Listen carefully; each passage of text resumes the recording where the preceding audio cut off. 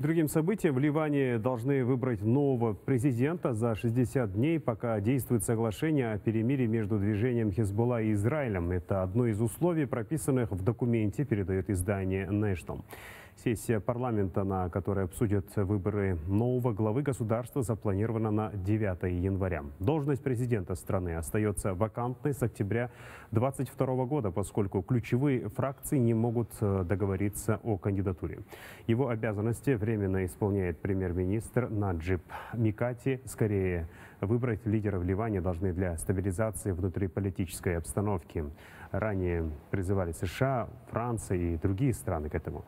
Напомню, 27 ноября вступило в силу соглашение о перемирии между Израилем и Хизбаллой. Документ предложенный США, предполагает вывод израильских войск из Ливана в течение 60 дней, а силы ливанского движения покинут так называемую «голубую линию» – условную границу между странами.